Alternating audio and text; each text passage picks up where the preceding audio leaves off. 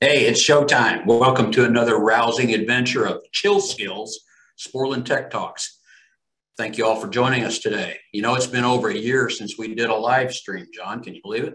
Uh, I can actually. Seems like it's been a while. Yeah, good to be back. This is a recorded webinar and it will be posted to our site for your viewing enjoyment. That way you can watch it over and over again. And the topic for this episode is something to do with the S3C case control. Yes, This, this part, part two. Part two. Part yeah. two. Yeah. If you really want to know what's going on, go back and watch part one. We put a link to it in the invitation. Mm-hmm. Part two is going to be part two of this multi-part series covering the AS3C case control product line, and we'll discuss revisions and updates yep. during this episode. A lot to cover with this product line. And here's a shameless promotion for the next one we'll be releasing new episodes of this epic in relatively short order, just like the other big streaming services. That's right. You know, like Netflix and stuff like that. I'm not supposed to say that. Never mind. Season, whatever. In, approxi- sure. in approximately some yet to be determined time period and weeks, we'll have part three ready to go. And during the course of that, we're going to talk about the concept of accelerated refrigerated case delivery and how to mount and wire the S3C control. Now, Sporlan is always here to assist you with your air conditioning and refrigeration flow control needs. You can reach out to us by calling the general number for Sporlan headquarters at 636-239-1111. That'll provide options for you to get to customer service or tech support where you'll actually have humans. Mm -hmm. And they'll cover most, if not all, of our new stuff and a good bit of our legacy products. Experienced and knowledgeable human beings. As, yes. To, to add that as well. Yeah. Yes. And you can also dial tech support directly at the number we've provided to you there on the slide, or you can also shoot an email to them. Of course, we're always here 24 7 at sporlan.com. Now, here's the contact information specifically for the S3C control tech support for that. This is what you do if you need help with that. So what about late night stuff, you might ask? Well, just take a look at the slide. We got some details on the available hours and note the email address. It's different than Sporlan's regular number. Now, don't be thrown off by this detail. However, when you dial that 888 number, a French Canadian will likely answer the phone. That's part of the dispatcher service that we've hired. Uh, if you call outside of the posted hours, they'll still answer the phone within limits. And if they don't answer, you'll just probably have to call back. But if they do answer outside of the posted hours, they'll likely suggest that you call back during those regular times if you expect to get tech support help on the S3C. We should do introductions here, John. Uh, hello, I'm Jim Jansen, Senior Application Engineers uh, engineers. I'm, I'm only one engineer. engineer. Sometimes you're, I feel like I'm two. You're only one. I'm only one. Rumors of my death have been greatly exaggerated, and no, I have not yet retired. Though some people kind of act like they want me to. Uh, that's me on the left. That's kind of irrelevant since we're broadcasting an actual video these days. And and joining me is uh, this guy, John Woodhouse. He's the, our longest running co-host John is the senior principal engineer for the Sporlan division. He's a published author, consultant, and as I have said many times in the past, all around extra smart guy, way smarter than me. All this means John's a big deal around here. Excited to have you. You should say hi. Thanks, Jim. Hello, everyone. Yeah. And, and Phyllis is also in the room. She's our communications director. Did I get that right? Yeah, she tells us what to do and when to do it, and every once in a while we'll pay attention to her. Phyllis, you ought to also say hi loud enough for everybody to hear you since you're going to sit over my, on the other side of my shoulder like that. Hello. Now, this will serve as a short review of the material that we previously covered in part one, just so that you're not completely lost. The S3C is a standalone case control. Standalone means it can function without being connected to the building's automation system. That's really a neat feature, but that's not all. It can also be connected to the building's automation system if you want to do that. How about that? Nice feature. The S3C has an open protocol and it can be connected to that uh, BAS if that happens to be beneficial to the application. It can can communicate with the building automation system via two common control methods, BACnet and Modbus. What, what do those three S's mean, John? What is, what is that all about? Uh, that would stand for safety, service, and security. Well, first safety. What kind of safety we're talking about? Food, food, food safety. safety. Yeah, that's safety. It's critical. Uh, Sporlan helps our customers to provide a safe food supply. Food safety is the primary function of the S3C. It works to protect the product in the case. Maintaining food safety for consumers is really a good thing to do. What, what's next, John? Service. Sometimes, you, sometimes you just need to be able to get inside and take a look at things, uh, so to speak, at least electronically. Tough to do this if the control is simply a black box. And you know what happens if the case temperature is too warm or if the evaporator doesn't defrost completely? Well, the S3C uh, is actually part of a diagnostic system. You can connect to it in a couple of different ways and help to diagnose those problems. Wow. And then there's this security thing. Uh, during the development stage of the product, Sporlan interviewed service techs and facility managers. Uh, we learned there was a need for a control device that would continue to function without the building automation system. Let's say something troubling happens to the building automation system or that supervisory controller. In that case, the S3C will continue to function. It will not shut down just because it loses uh, the BAS or somehow the connection is broken. Uh, you're telling me it can work with or without the BAS? That's correct. In a kind of a fail-safe way, or what this $10 word, standalone, standalone. control. This provides some of that security and ultimately safety that we're talking about. It's all about, again, all about protecting the food product in the case. Absolutely. Now, on to some of these revisions and updates, because we said this was all about revisions and updates. Ah, before I forget, John, we've, we've addressed towards the end of this presentation some of the frequently asked questions that come up. Uh, and if we get a chance, we'll even answer a few questions live if one of us knows the answer. In part one, we mentioned there were two RS 485 connections on the case control.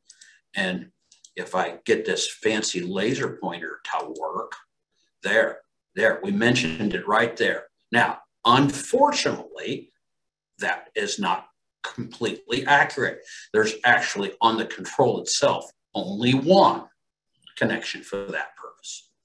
So we've cor corrected that here. Any, this any minor error on that first time around, and we apologize. I, I think that had something to do with depending on how many of these different components you put together on the system. So, yeah. so anyway, this corrects that. Now, here's some new information on the valve module. The valve module or VM could be utilized for the termination of additional electric valves and additional sensors. Even with mechanical TEVs, there may be the need to measure discharge air temperature on multiple coils. That all means it might be darned handy to have the the VM or, or valve module. But what if you decide to install a CDS valve in the suction line to use as an EEPR? Well, what, what are you going to do if you don't have the valve, valve module? There, so there, you're going to need something yeah, like that. Need something. Now, here's a here's a change that's identified. There's now two pulse valve output termination connections as shown on the cover. This is neat. This is new on the on the on the valve module. And let's see here if I can get where it's the two solenoid pulse valves, and you can see them. One's there and one's there. Yes. Yep.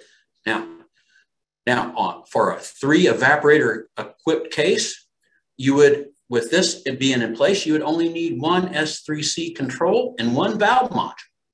Where before you would have needed two valve modules, not one like we're suggesting now. But there's a catch to this.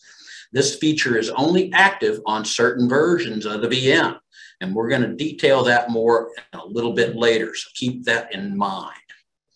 Here's an image of the old display module. Yep, the old one. Yep. Yeah, do you remember that one? Mm -hmm, I do. Now, this one had two quick to view LEDs, one here and one over here, mm -hmm. one on each side of the device. But, you know, got to change things.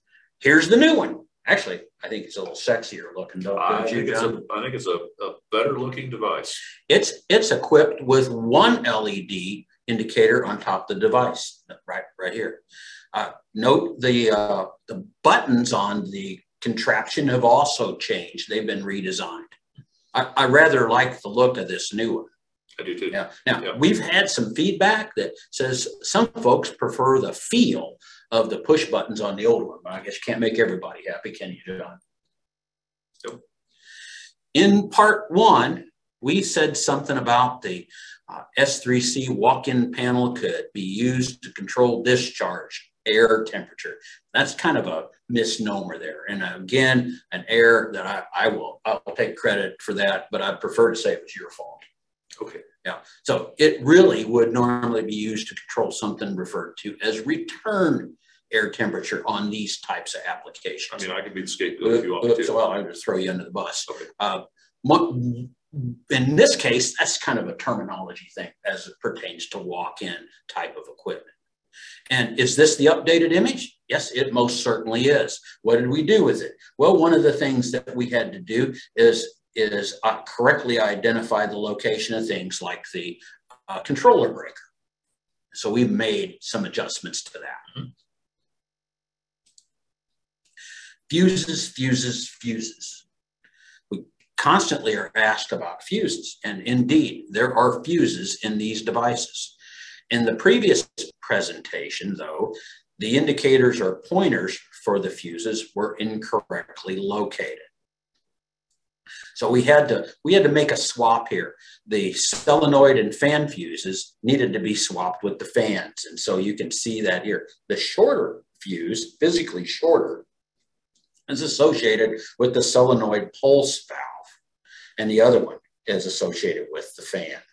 Mm-hmm. And then here we've uncovered the case control, and then also we've got a, a fuse that shows up in the valve module as well.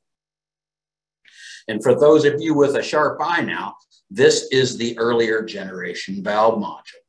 And here you can see that we've also identified the manufacturer for the fuses and have also included a part number for you.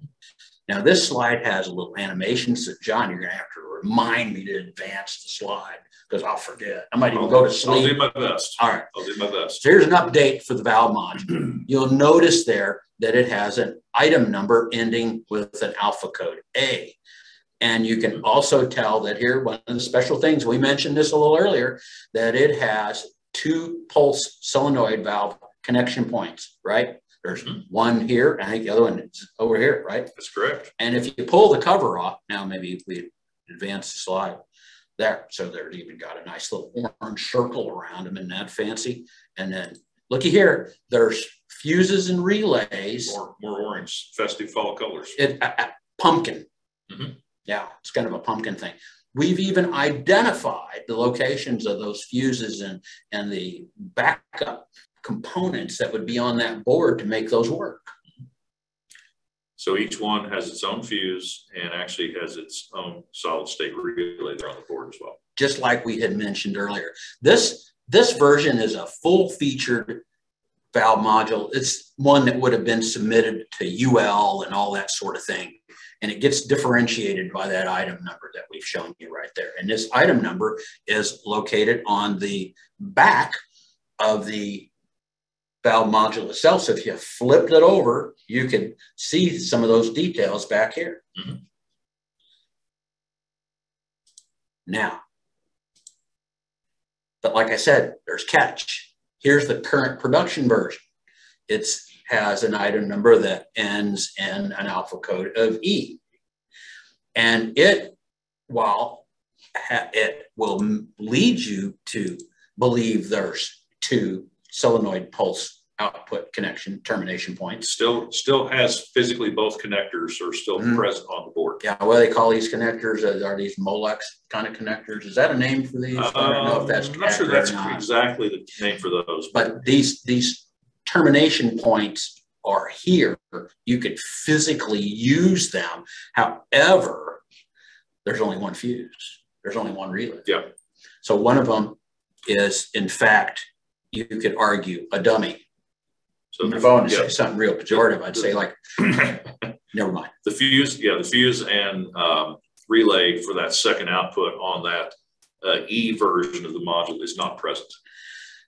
Now, that was something of a supply chain issue, you know, with good intentions here. And in order to keep parts moving to the field so that they could be utilized, uh, it still has the functionality of the earlier version. And in time, we will correct this issue. But to keep things moving, we had to do what we had to do. There, uh, we find that oh, there's a lot of uh, installations out there that don't actually need that second set of connections. And uh, it makes much more sense to be able to ship product with the features that actually are needed than to have extra features on boards that are not going to be used and, uh, and not be able to ship uh, to the customers that actually need them. So We'll get it, we'll get it sorted out It will, it will be corrected uh, as supply chains start to come back in, in line. Yeah, and then again, if you flip this one over or whichever valve module you have, you can see details like the item number and, and that kind of information on the back. Now, we've also made some changes to the case control itself. Uh, there is currently a version three where there's quite a few of them out in the field, and there is now a version four and when did this happen? Well, the, uh, the, the, version three, which has a part number of 953621, is no longer available. Uh, there's literally, I think, tens of thousands of these out in the field, but we're no longer shipping that particular one.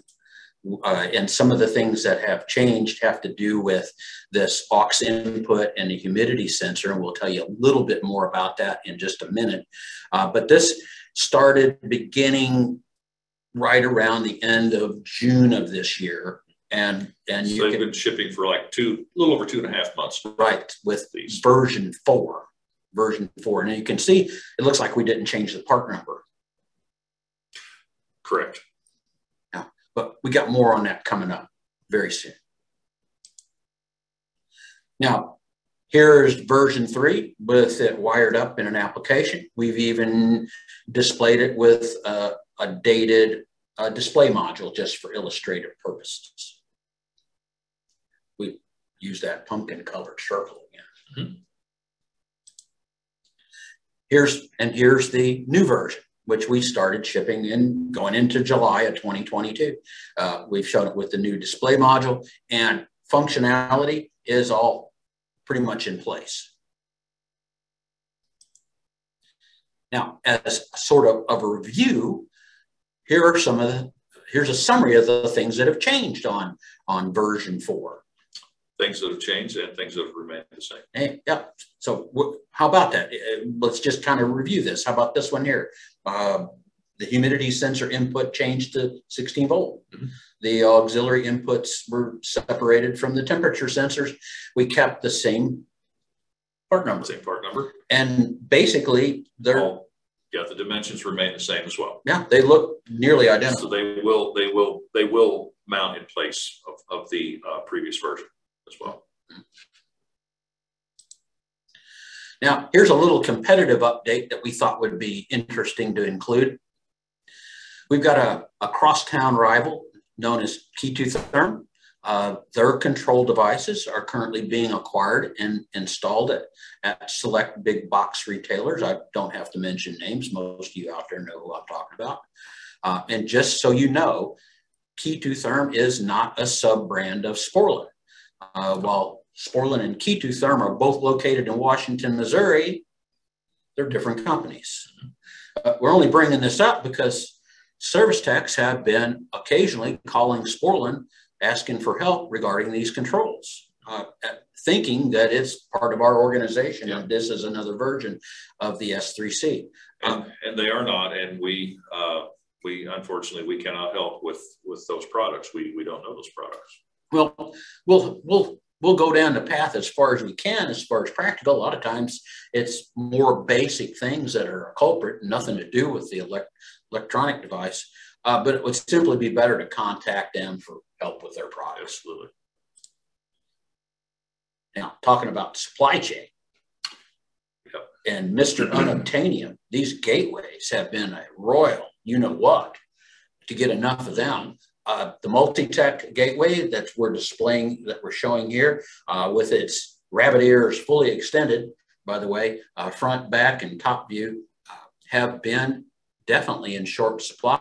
We've shipped them as they've been available, but in order to help with that, we've got a new one that's joined the ranks. Uh, this one's made by Vantron. It's very similar in its design. There's the front, back, and top. Notice here we've got a Parker logo on the on the little devils. Isn't that pretty special? And and voila, here are the two of them compared, sort of. I'd say side by side, but it's more top and bottom, and John is kind of a top and bottom. Just We're going to ship both of these as they're available. Yes. Uh, the multi-techs are out in the field. Vantrons are showing up. And from what we to were told, the, the Vantron version works pretty darn well. Mm-hmm. Yep. Now we're moving into one of my favorite parts. Those frequently asked questions. Yeah, frequently asked questions. Those are those questions that we get asked over and over again. And that kind of how that works yep. by definition? Frequently. Frequently. Are there any fuses or breakers in the S3C control? That would be a yes. Yeah, we've covered this earlier, but it comes up and it comes up and it comes up. Yep. Now, note the position of the fuses in the case control in the valve module. We've also, again, included that manufacturer's name and part numbers for reference. So yes, indeed, there are fuses. And it should be noted, uh, please use the proper fuses in these if you have to replace them not a strip of wire or something like that. No, no. Chunk of copper or brass. No. that would work, wouldn't it? Um, don't do, don't do that. Where we're calling for a one amp or a 6.3 amp fuse, please do not put a 30 in there. That was, uh, is uh, not good practice. How to barbecue a controller without even trying, right? Yeah. Here's another question. What happens if you don't open the service valves that isolate the pressure transducers? I think I know that one. Well, well hang on, hang on. Okay. But before we answer that question, note that we've got a new version of a transducer sitting over here to the right. You might not have seen these before. These are the our old reliable standby, but we got a new player here.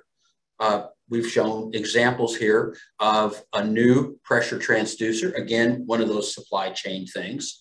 Uh, you notice that they're color coded with a dot that you can see here. And you'll also notice that there's some engraving on the body of the transducer that identifies what it's supposed to be.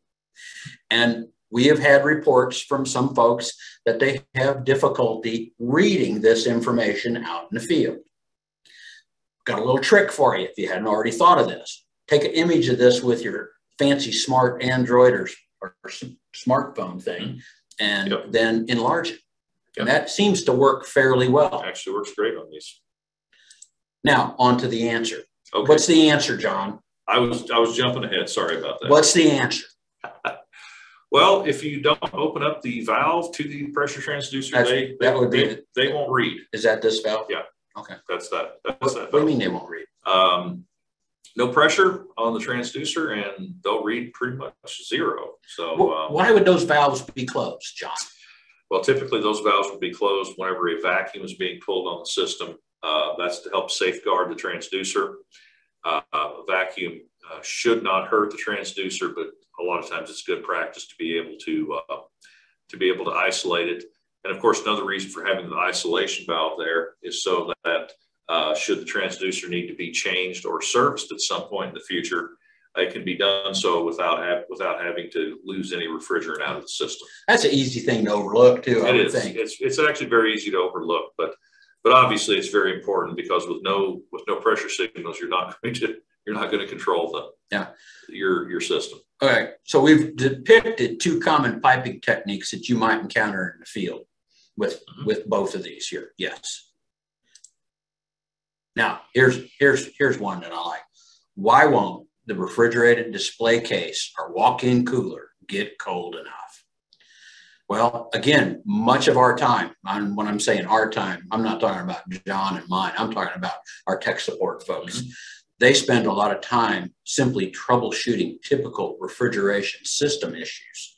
Things like uh, that don't necessarily have anything to do with the electronic devices or control that are in this application not anything to do with that side of things.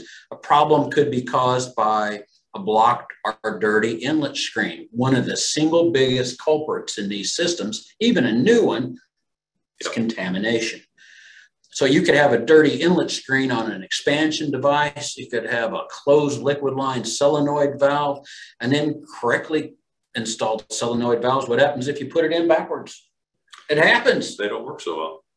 Or you could have hand valves like we just talked about that are closed not only on pressure transducers, but other places. So the thing to remember, it's uh, you know, it's easy to get caught up in the idea, you know, that oh well, these electronics are you know are uh, I don't understand the electronics necessarily, and uh, that that must be the problem. Yeah. But um, it's, it's very easy to to get caught up in that, but it's uh, very worthwhile to remember that uh, all the same issues that can happen to a, uh, a conventionally controlled, you know, non-electronic system can happen to these electronically controlled systems as well. Yes. And oftentimes that's really what's going on. A lot of times it's actually the basics. Uh, it's, it's not actually anything to do uh, with any of the electronics. Hey, you know, it could even be an EPR mm-hmm. that's not adjusted correctly. It could be throttling before the system ever achieves the expected control temperature, and it simply needs to be adjusted. It could even be an EEPR, which is being influenced by the control device. Certainly. Certainly. And just as a tease for future viewing, we'll discuss how to make the software setting changes to the EEPR in a future S3C webinar. But we should, but we should also point out yes. that these system parameters, these different pressures and temperatures around the system, uh, the S3C actually makes it easier to tell what's going on there. You don't actually have to go around with gauges and, uh, and yeah. things like that. You know, you, you can actually access that information much more readily through the S3C uh, and actually save time on that basic system troubleshooting using uh, the S3C's built-in features. Absolutely.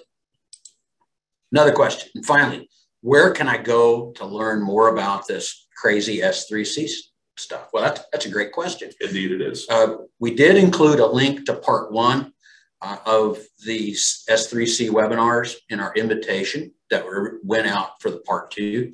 Uh, you can go back and review that. Mm-hmm. Uh, you can also access Sporlan's YouTube channel, Sporlan Video.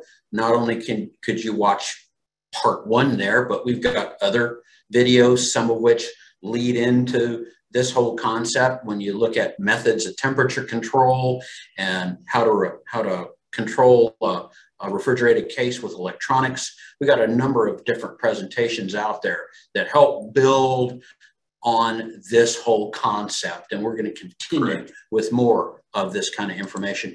And there's more specific stuff that you can access that you can download mm-hmm. these different bulletins. They're yep. all free of charge to you. And just several, several good bulletins online. Absolutely. Several of them, not just not just one or two. And as a reminder, we've got part three coming up as soon as as soon as I get my dead backside moving and get it finished, right? And we don't have a date yet on it, but we're we're hoping to have it out there in just a few short weeks. Here's a reminder for that contact information specifically focused for S3C tech support. It's what you do if you need help with that product line. Mm-hmm. And here comes the commercial, John. Sporlan.com. Sporlan.com. Yeah, for product literature, virtual engineer, that's Sporlan's product selection program, and a whole lot more. You can even view encore performances of all of these webinars on Facebook or YouTube. Uh, it'll appear on our Facebook page first if we do it like we've done it in the past. YouTube channel will come a little later, but eventually it'll be out there. And I, I got to say at this point, a big thank you to our internal team. They really make this whole thing work. Phyllis, of course, handles the invitations and sets up the webinars. Jennifer always makes the slides look so very professional. Dennis edits and posts the final product out on social media for you to review again and again. And Brandon, Brandon, our IT guy, just is invaluable to help us put this on. And a That's big right. thanks to you, John. You're my longest surviving co-host. I like the way you use that term surviving. Yeah that's uh it's a good thing you don't aren't wearing a red shirt, but I'm not too many people would know what that means. and remember our internal S3C tech support engineers, Jim R, Pat, Chris, and Dwayne. It's, this is all a team effort. We couldn't do it without everybody pitching in. Now, at this point, that concludes our webinar today. Now, unless we've got some specific questions that have come in to us on the chat I, or otherwise. I don't know that we have anything that we can necessarily really answer uh, live. Readily live. Today. Okay. Yeah. So I tell you what we'll do with those questions that you've submitted, because we're about to run out of time. And you know what happens when that happens? Then our the guy that's running the show here stops the meeting. So before that happens, I'll commit that any question that's been submitted to us during the course of this, we'll answer directly back to you and then we will post them yes, online. And we'll usually then take those and turn them around and create some fancy blog that I get credit for writing.